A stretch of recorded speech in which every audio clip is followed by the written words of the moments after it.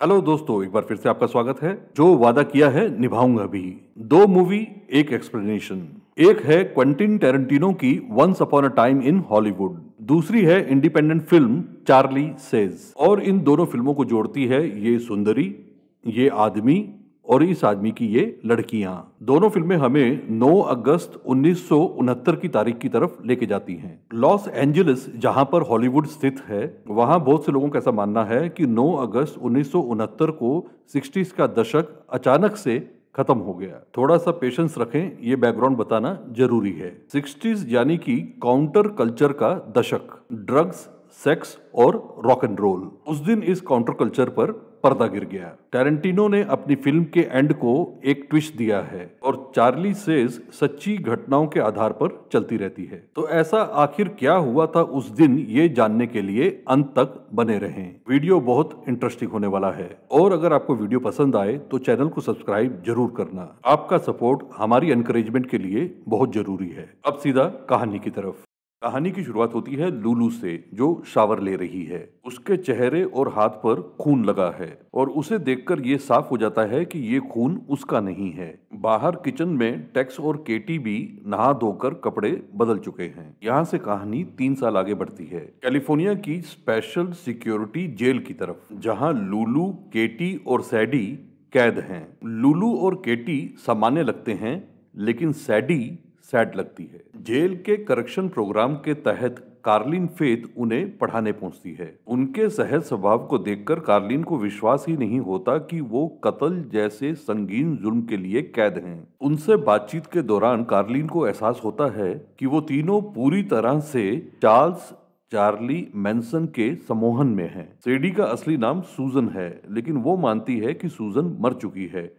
क्योंकि चार्ली ने उसे सेडी बनाया है। केटी और लुलू भी पीछे नहीं। चार्ली का गुणगान करते हुए उनके चेहरे पर मुस्कान रहती है। यहाँ से हम लुलू के ज़रिए स्पान रेंज पहुँच जाते हैं, जहाँ चार्ली के रिक्रूटमेंट प्लान के तहत जिप्सी उसे लेकर गई थी। कुछ उसी तरह, जिस तरह once upon a time in Hollywood में मासूम सी दिखने वाली पुसी कैट बार बार कोशिश करके बूथ को स्पान रेंच ले जाने में कामयाब हो जाती है। स्पान रेंच का मालिक है जॉर्ज स्पान, जिससे हम थोड़ी देर में मिलेंगे। बूथ जॉर्ज को अच्छी तरह से जानता है। आठ साल पहले तक रैंच पर वेस्टर्न कॉबॉय फिल्म्स की शूटिंग हुआ करती थी, जिनमें से कई फ़िल्मों में बूथ ने स्टंट किए थे। लूलू के रेंच पे आते ही उसे अपना लिया जाता है और बहुत सारा प्यार भी मिलता है। और साथ ही एक नया नाम, उसका असली नाम लेस्ली था। लूलू नाम उसे चार्ली देता है। चार्ली रैंच का गुरु है, लेकिन उसके अनुयायी और वो खुद भी अपने आप को भगवान से कम नहीं मानता। बाहर की दुनिया में उन सबको मैंसन फैमिली के नाम से जाना जाता है। केटी को, लूलू को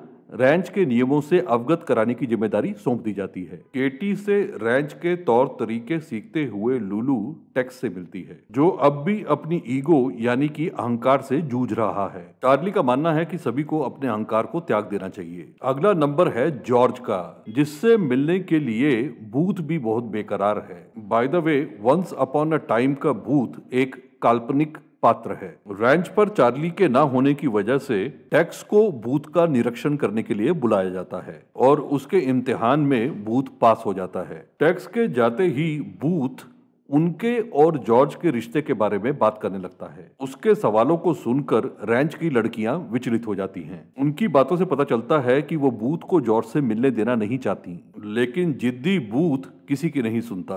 उसे जॉर्ज के शैक की तरफ़ बढ़ता हुआ देखकर शैक में अफरा तफरी मच जाती है। एक लड़की को छोड़कर बाकी सब शैक को छोड़कर निकल जाते हैं। शैक में बूथ का बहुत ठंडा स्वागत करती है स्क्विकी। वो बताती है कि जॉर्ज सो रहा है और बूथ उससे इस समय नहीं मिल सकता। वो जितने बहाने बनाते हैं बूथ उतना ही ढीठ होते चला जाता है। आखिरकार हम मिलते हैं अस्सी साल के जॉर्ज स्पांस से, जिसे अब ठीक से दिखाई भी नहीं देता। और वो बूथ को ठीक तरह से पहचानता भी नहीं। उसे ज़िंदा देखकर बूथ खुश होता है। वो समझ जाता है कि जॉर्ज ने हिप्पियों के साथ एक तरह का सौदा कर लिया है। हिप्पी रैंच पर फ्री रह सकते हैं, जिसके बदले उन्हें जॉर्ज की देखभाल करनी होगी। ये था टेरेंटिनो का सभ्य वर्जन। चार्ली सेज का वर्जन सच्ची घटनाओं पर ही आधारित रहता है। शूटिंग्स बंद होने के बाद रैंच को एक टूरिस्ट स्पॉट बना दिया गया था और हिप्पीज वहाँ पर घुड़सवारी के दौरे भी करवाते थे।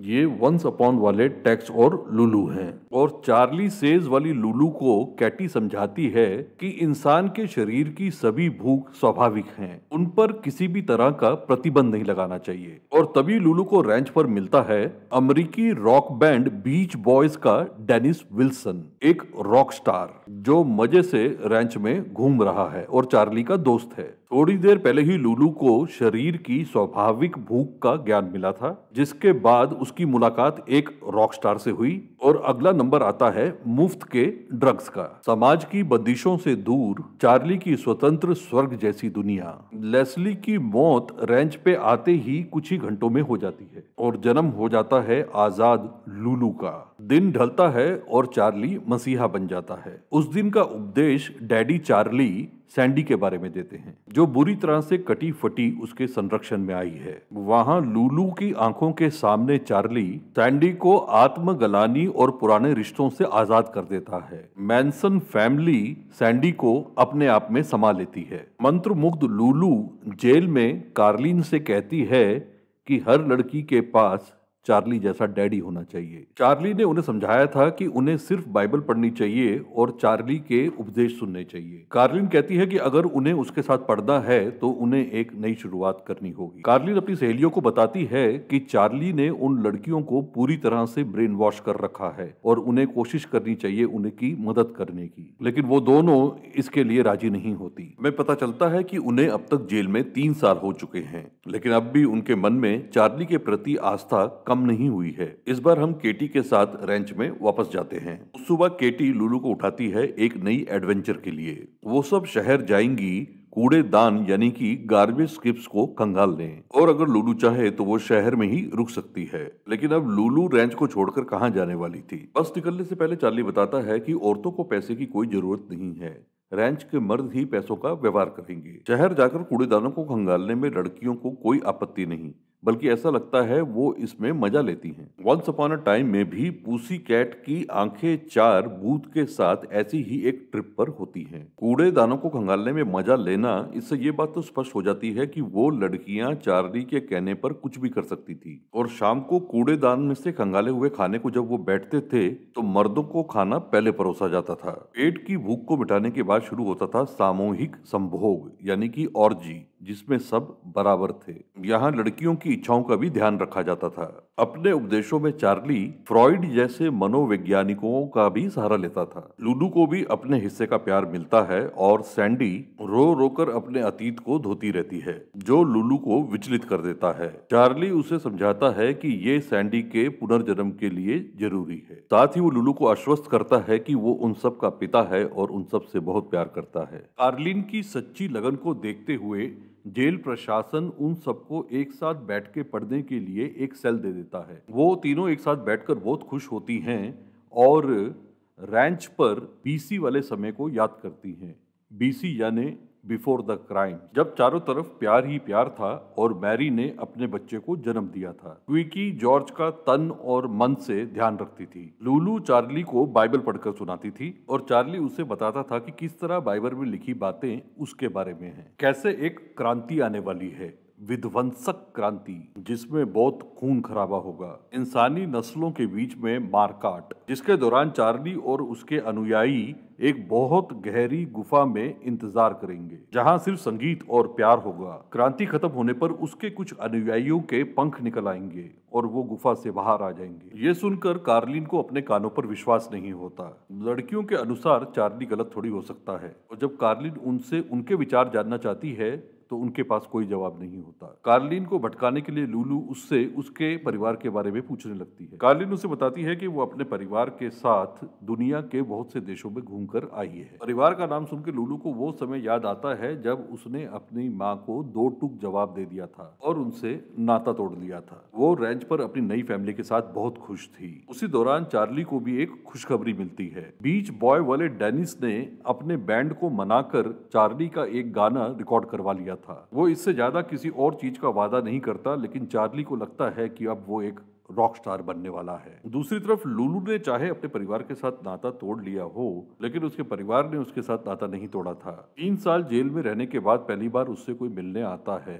और वो थी उसकी माँ, जो उसके हाल के लिए अपने आप को दोषी मानती है। और अब हम पहली बार आत्मविश्वास से भरी हुई लूलू की आँखों में संदेह देखते रैंच पर भी ऐसे मौके आए थे, लेकिन चार्ली और उसकी भीड़ ने उन्हें कुचल दिया था। मसलन चार्ली को जब पता चलता है कि टेरी मेल्चर रैंच पर आने वाला है तो वो बेचैन हो जाता है। टेरी मेल्चर एक रिकॉर्ड प्रोड्यूसर था। डेनिस विल्सन के कहने पर वो चार्ली का म्यूज़िक सुनने आ रहा था, जो चार्ली हमेशा अपने अहंकार को मारने की बात करता था, वो एकदम से पलटी मार देता है। वो टेरी के साथ म्यूज़िक एल्बम बनाना चाहता है, रॉक स्टार बनना चाहता है। वो चाहता है कि रेंच को साफ़ किया जाए, टेरी को कूड़े का नहीं, साफ़ सुथरा खाना परोसा जाए। ये सब सुन और देखकर लूलू के मन में संदेह उठता है। चार्ली कहता है कि जीजस के अनुयायियों के मन में भी कभी कभी संदेह उठता था, क्योंकि वो सब कुछ नहीं जानते थे। उसी तरह उन सबको भी समय आने पर सब कुछ स्पष्ट हो जाएगा। और फिर अपने वादे के अनुसार टेरी रेंच पर आता है और आते ही सीधे पॉइंट पर भी आ जाता है और उसके आदेश के अनुसार चार्ली सीधे अपने गाने पर आ जाता है और चार्ली के आदेश के अनुसार लड़कियाँ अपनी हरकतों पर रेंच पर सबको विश्वास हो जाता है कि चार्ली का समय आ गया है। दुनिया को जिस संदेश की ज़रूरत है, अब वो उनके पास पहुँचने वाला है। लेकिन सच्चाई कुछ और ही होती है। जो चार्ली जानता है। उसकी सारी भड़ास सैडी पर उतरती है। आने के टेबल पर वो चार्ली को उल्टा जवाब देती है और चार्ली उसकी जब कर पिटाई करता है। लूलू उससे उसका हाल पूछती है तो सैडी संदीप रेड्डी वांगा वाला जवाब देती है। जिस आदमी से आप प्यार करते हो, उसकी मार में भी उसका प्यार ही होता है। जिसे सुनकर लूलू को अपने कानों पर विश्वास नहीं होता। चार्ली समय समय पर अपने अनुयायियों का कड़ा इम्तिहान भी लेता रहता है। टेरी मेल्चर वाली दुर्ग दुर्गति के बाद चार्ली में आया बदलाव बढ़ता जाता है। अब वो नस्ल भेद और हिंसा की बातें करने लगता है। उसके अनुसार काले अमेरिकन, गोरे अमेरिकन का नरसंहार करेंगे और उनकी जीत भी हो जाएगी। लेकिन जीतने के बाद उन्हें समझ नहीं आएगा कि आगे क्या करना है। उन्हें अपने मार्गदर्शन के लिए एक गोरे इंसान की ज़रूरत पड़ेगी और वो मसीहा होगा चार्ली। ऐसे विश्वासों का खंडन करने के लिए कार्लिन अपने एक काले साथी को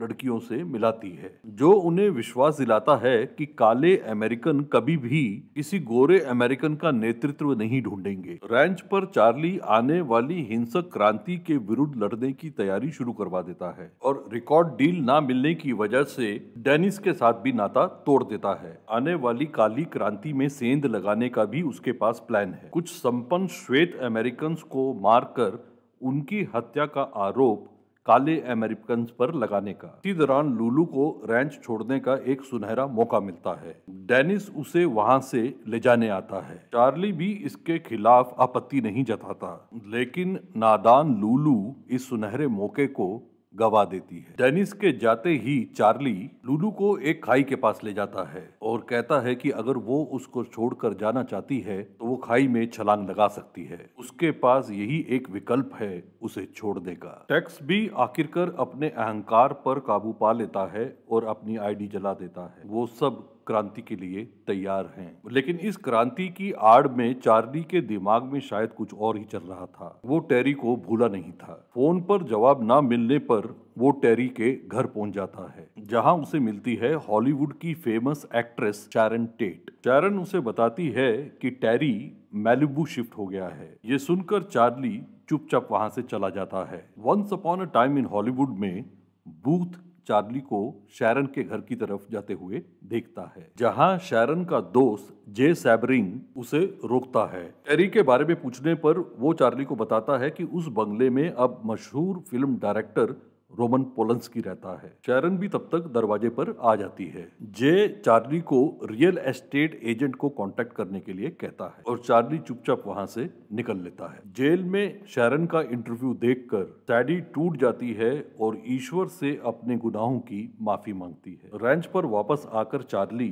सैडी और टैक्स को टेरी के घर जाने को कहता है। उन्हें वहाँ जाकर वहाँ रहने वाले लोगों को मारना है और मौके वारदात को इस तरह से छोड़ना है कि इल्ज़ाम काले अमेरिकन के ऊपर आए। एटी और लिंडा भी उनके साथ जाते हैं। ये वही 8 और 9 अगस्त उन्नीस सौ उनहत्तर की दरमियाना रात है, जिसके बारे में मैंने आपको शुरू में बताया था। उस रात चार्ली के कहने पर टैक्स सेडी, केटी और लिंडा ने पाँच लोगों की हत्या की, जिनमें शैरन टेट भी शामिल थी। शैरन साढ़े आठ महीने की गर्भवती थी। शैरन का पति रोमन पोलेंस्की उस समय देश से बाहर था। इन खौफनाक हत्याओं ने पूरे अमेरिका को हिलाकर रख दिया। सेडी के बाद जेल में लुलू भी टूट जाती है। Once upon a time in Hollywood में टैरेंटिनो ने इस एंडिंग में ट्विस्ट डाला है। वहाँ शेरन के घर की जगह चारों हत्यारे गलती से काल्पनिक एक्शन स्टार रिक डाल्टन के घर पहुँच जाते हैं। रिक उनका अपमान करके उन्हें वहाँ से भगा देता है। अब वो टेरी मेल्चर के घर जाने की बजाय